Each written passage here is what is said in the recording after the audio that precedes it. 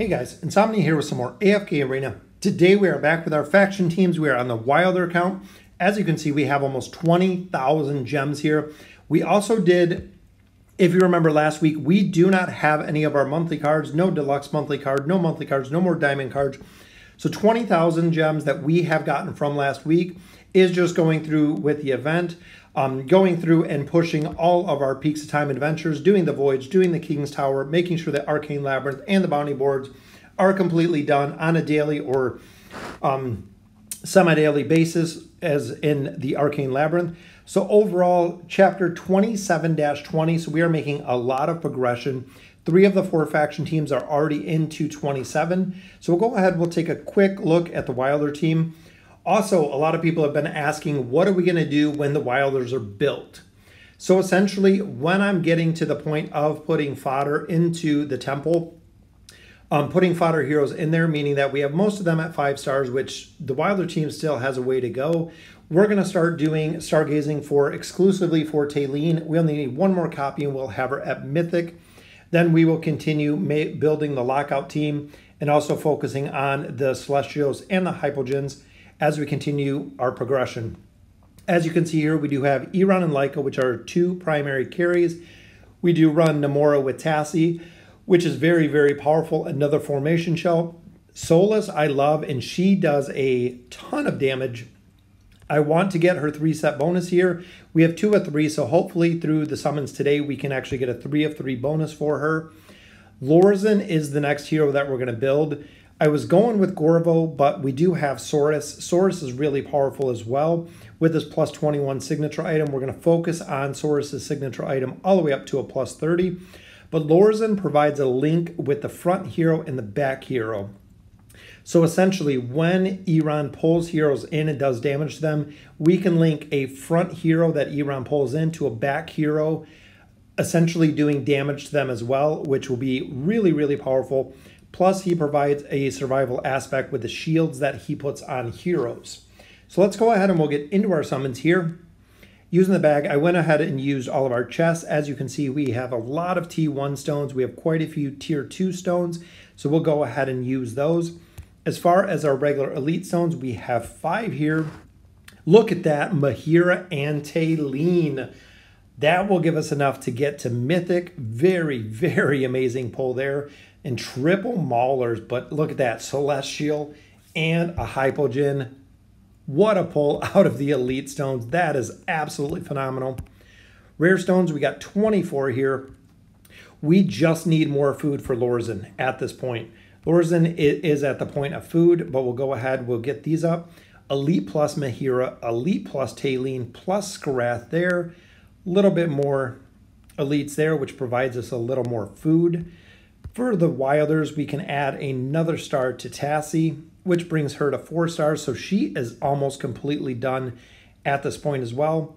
Same with Talene, we will go ahead and get her up to Mythic, unlocking the super power of her signature item. We might have to take her signature item quite up quite a bit. That way we can start using her. She is the first one that we have on the faction accounts. Also with this one, we don't have any dimensionals yet, but I believe we have enough to purchase her. So we did buy Nakoruru on the Lightbearer account. And as we're adding Talene and adding additional teams, we should have enough to pick her up as well. Which there we go. So we'll exchange. Now we're saving for um, SEO. SEO be the next one. So we do have her unlocked as well, which again, allows us to change up the formations. So we're actually going to have heroes that we can use in different formations, which would be nice. That way we're not reliant just on the faction accounts because we are letting Celestial, Hypogeans, and Dimensionals into these accounts as needed to continue our progression. So Temple is all set right now, which we got Skriath to with that pull. This is the first account, which is funny because it is the Wilder account, um, I have never seen Skriath up to Ascended, but there he is, even though it's not on the Mauler account, which would be ideal where he is, or to get him up on that account. He is Ascended at this point. So very, very cool to see him up to Ascended. First account I've ever seen him Ascended, which is crazy.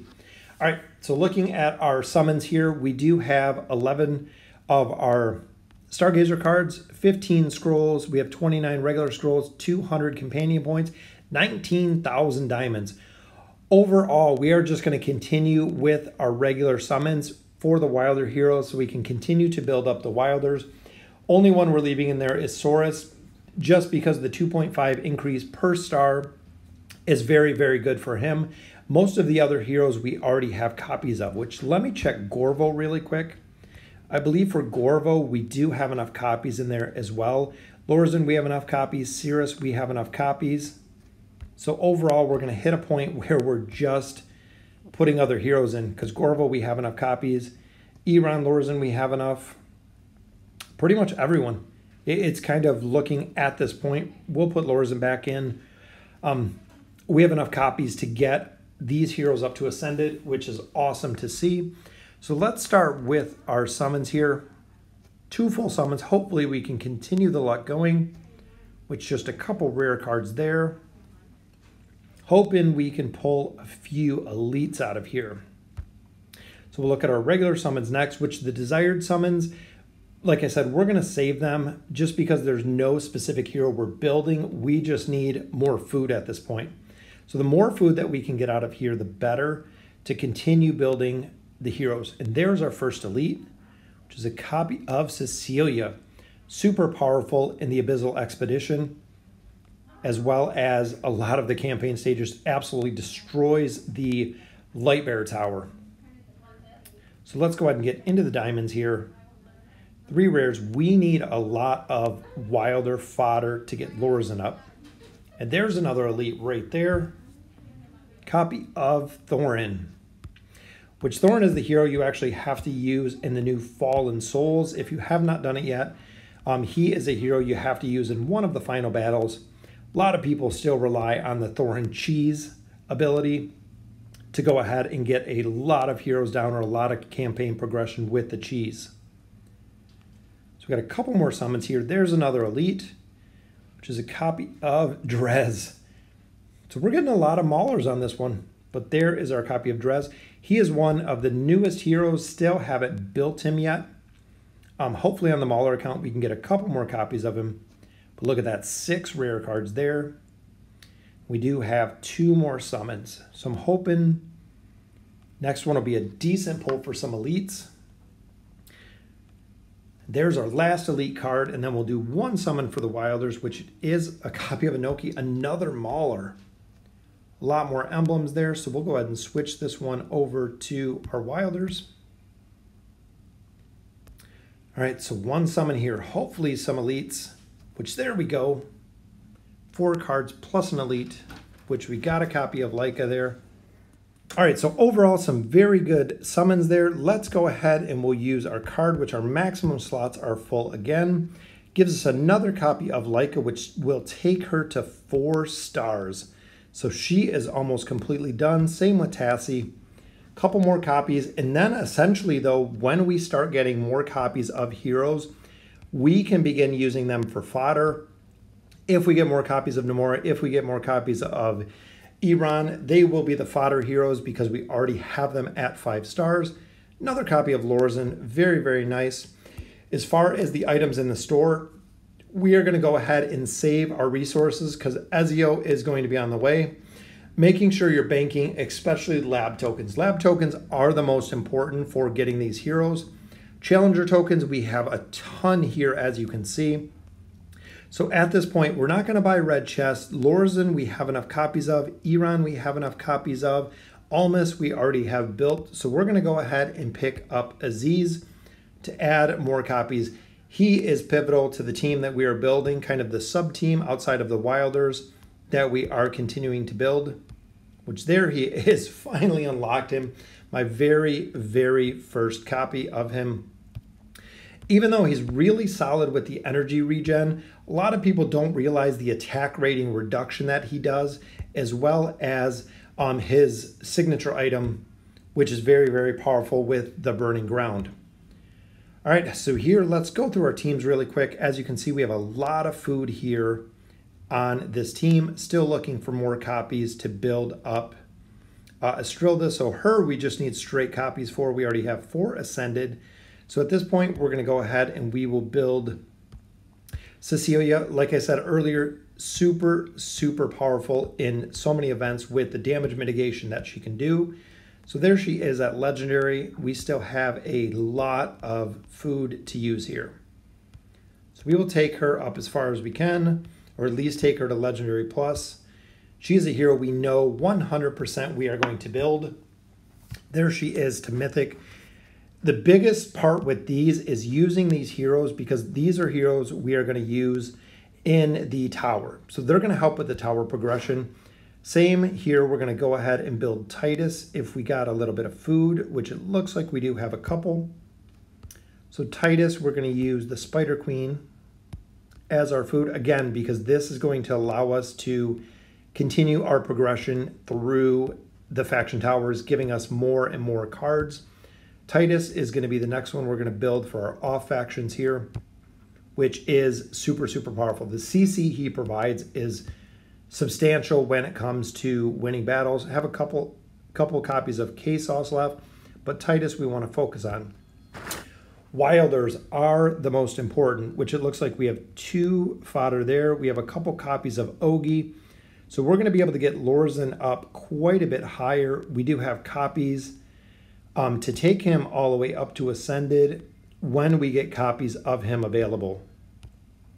So essentially, this will be the food for Lorsan, and there he is.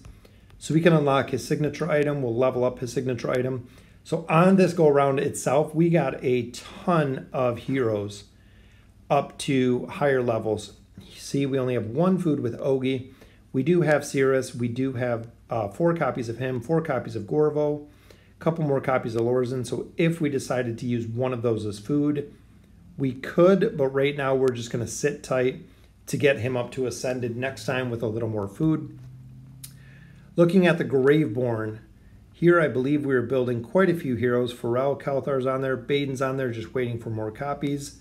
So in this account, since we already have Ferael, we'll go ahead and we will build Nara with the fodder we have here. Because again, Nara is super, super powerful when it comes to the tower. So we'll keep her right there at Legendary Plus.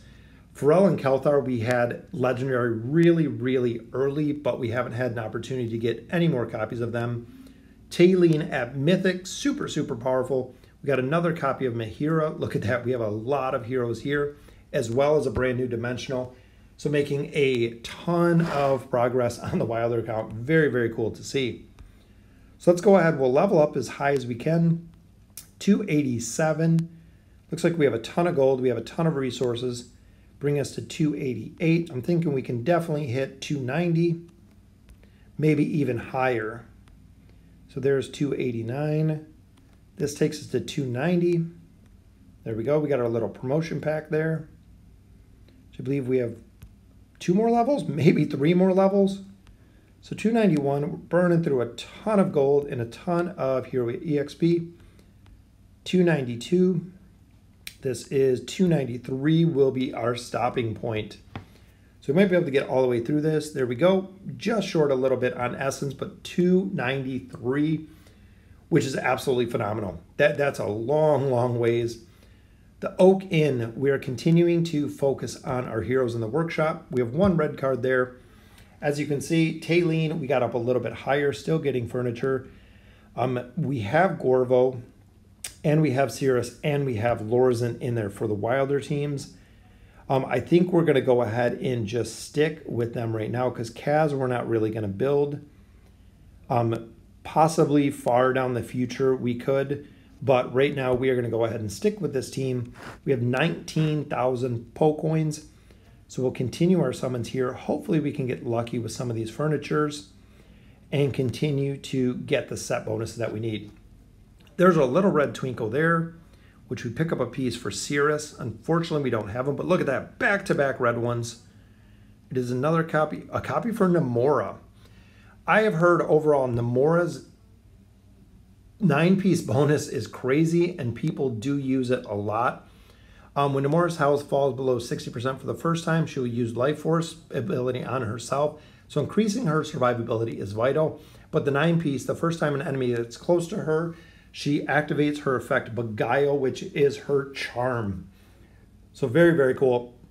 If they come to kill her, she can actually charm them. Look at that, back to back to back red pieces, which here's another piece for Lyca, a brand new piece for the multi-shot. That might be her three-piece bonus, which would be nice. And we can also, if we don't get Solise here, I do have a red card. Um, we can go ahead and get Solise up a little bit higher. All right, so let's take a look at our team here. So adding a piece here, which is two Lyca. I want to see if that gives us our three, only our two set. All right, but the two set we want to focus on is Solise. So here's Solise, We only do have the two set piece with her. So we'll actually pull her third set item. There she is, completely maxed out signature item, which brings her Spectre into play. As you can see, when the Floral Spectre is defeated or its duration on the battlefield expires, which it does get killed a lot, it will transfer itself, transform itself into a spirit that becomes impervious to all attacks for 8 seconds. When Blossom Fall is occurring, the spirit is able to attack enemies. So very, very cool. So even if the Floral Spectre dies, it will still do damage to enemies, which is awesome to see. I, I want to see the damage output, what it really increases her damage output to. So that is her three set bonus there. Um, Ulmus, we have a little bit of furniture for, but Tasi will continue to auto place, adding a little bit more dodge. Lyca, we already placed. Nemora, we got another piece for her, which looking at her, I believe that is, nope, just the one piece. So not too much on there. I believe she has a lot of the Talene furniture, which she does indeed. So overall, that will conclude it all except Ulmus. Getting another piece there. So that'll conclude it for the Wilders at to, up to 20 red pieces of furniture already. So definitely made a ton of progression here. Let's go ahead and look at the heroes themselves. So here is Lorsan we have 383 of our amplifying or our primordial emblems. Go ahead and get him leveled all the way up to plus 10. And I know we have Talene, I know we have Titus. We have a ton of heroes to continue buying more and more emblems for. But that'll take it to plus 10, 700 amplifying emblems. So we'll have more than enough to go all the way to plus 20. And then red chest, we are focused on Saurus. Saurus is going to be the priority here. There we go, his plus 20. When an enemy linked by the Gale Force ability dies, Lorsan will be immune to all damage for 5 seconds. Increasing his survivability a lot is key to his unlocking his power. So here, Hope's Edge, we want to continue to work on Saurus. Have 165 chests, so we should be able to add a significant amount of damage, which is in turn going to be a lot more damage to bosses. There we go, plus 27 signature items. So pretty soon, hopefully by the end of the event, we'll be able to get him to a plus 30 signature item, as well as Talene. We'll go ahead and unlock hers. Use the rest of the emblems to build her up. Because even at Mythic, she will perform very, very well overall with her abilities and with her signature item unlocked. So a little bit more, we can take it to plus 10. We have more than enough to take it to plus 30, and then we will go from there. So super, super excited about the Wilder team. Um, they are totally ready to destroy the campaign. I've been pushing the Wilder towers. So we'll go ahead, we'll get them outfitted, we'll get their gear all set. We have two of them already with their three-piece bonuses. Ulmus, unfortunately, we had to bench, not doing too well. But I would definitely like to try out Lorsan for quite a few stages, see how well he does. So we'll go ahead, we'll get them all ready. Let's see strengthening gear here. I believe we do have our couple tier stones, which even there, look at that, doubling the hit points, adding 3,000 attack, doubling the defense, and adding 30 more accuracy to the helmet. Ton more damage there. I believe that might be about everything that we have. Tier 2, Tier 2, I believe we do have some tier 2 stones here, adding hit point, attack, and defense. And I don't believe we have anything else except to change the factions, which we'll go ahead and use a reset scroll. Currently I have no heroes that can use it. Wilders, there we go. So even just resetting the item, as you can see, gave her a significant improvement to her stats. Tasi the same, so the gears kind of mismatch when it comes to overall, but we'll get the team all set and get ready for our campaign push. We're on 27-20, so let's go ahead and we'll get into the campaign. So here we are on 27-20, fighting the Mauler team versus the Wilder team. The Maulers do get a advantage over the Wilders, and they absolutely destroy our team. So here it just takes kind of some RNG uh, to go ahead and get our crowd control down, which we get a quick victory there. Let's look at the damage. 14 million, 7 million from Lyca. Lyca with her plus 20 signature item doing some significant damage. 27-24 as we go through the boss stages. We're moving Nemora up front. That way we can pick up Sylvana. Sylvana is easy to go ahead and take care of if you can get to her. If she goes to the back line, very devastating to your team. 10 million here, 7 million from Lyca, doing very, very well.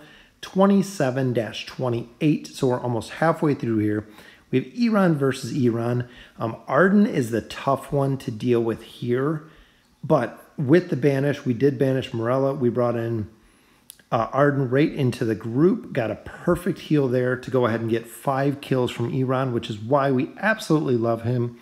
17.29 million damage completely just destroying the team, bringing us to 27-32. Again, dealing with Arden on this one, the only thing you have to be careful with is with Thoran. When Eironn pulls in Thoran, um, there is a possibility that he will just one-shot everybody with the Thoran cheese. We put on Saurus for this one to get it done. 20 million damage there from Eironn. We are going to try out Lorsan. Um, I tried him on a couple stages, had no luck. Here's Lorsan in, and he links the essentially two heroes, which actually we're going to take him out for this one.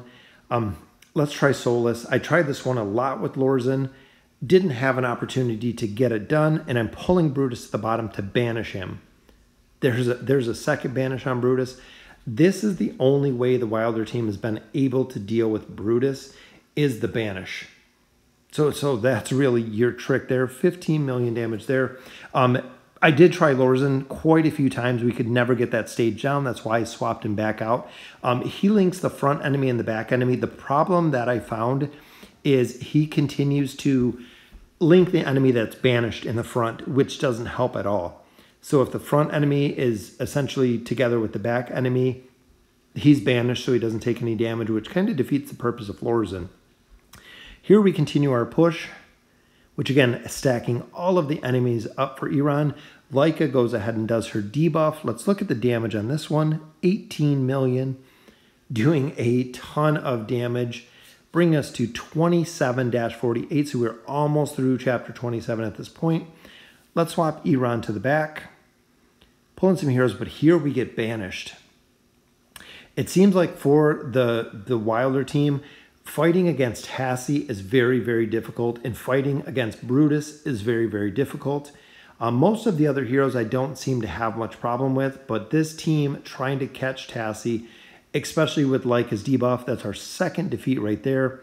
We got Saurus in here. Let's try to pull in Lyca to try to actually take her out right there. Double banish in the very top. Our team gets destroyed again. Let's try him on the top. That way we can pull in Lucius. We can pull in, see, the, the banish there. The bottom team, the bottom heroes are not even giving us an opportunity to do any damage. Their Saurus is getting destroyed. Let's try them in the bottom. We'll try to pull in all three of them, which we do.